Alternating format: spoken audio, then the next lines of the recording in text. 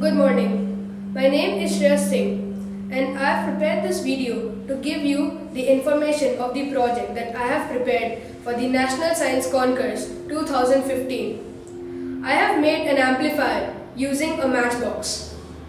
The materials you require for making this amplifier would be an old matchbox, three pieces of lead, three pieces of wire, a battery and an earphone so that you can hear the sound. So I started I started off by take by taking my matchbox and making two holes at each end at a regular distance.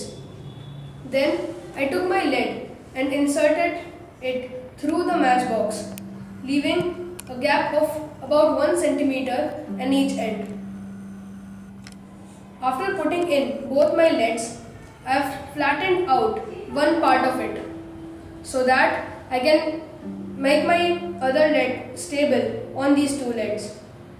So this amplifier is now complete.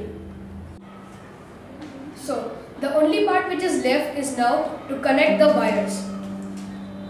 So take the first wire, connect it from one lead to one terminal of the battery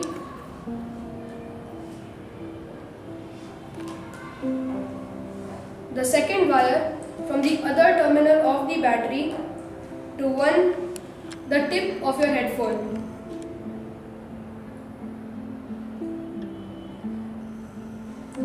And the last wire you have to connect it from the other end of the headphone to the other end. And now the circuit is totally complete. Out and if and I'll check if it's actually working. And yes, I can actually hear the sound of me tapping the lead on the other two leads. You can't hear the sound, right? So, to make you proof that it's actually working, I'm going to take help of the Morse code. Morse code was a secretly designed language in the earlier days, which the United States of American soldiers and the headquarters used to send messages to and fro without letting anyone else know. Now I have changed my small wires with a long length of wire and my friend Aditya is sitting in the other room. Now he'll try to send me messages and I will, I will try to decode it and I'll write a message on this chart paper.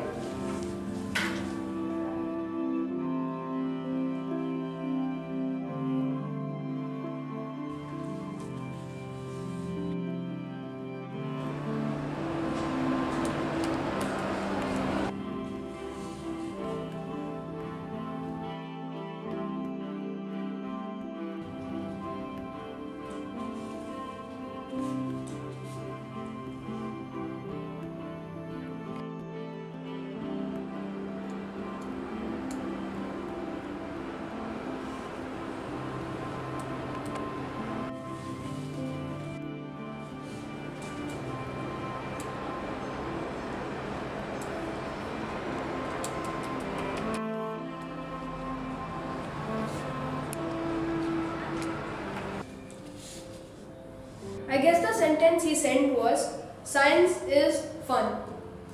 I hope you enjoyed my video. Thank you.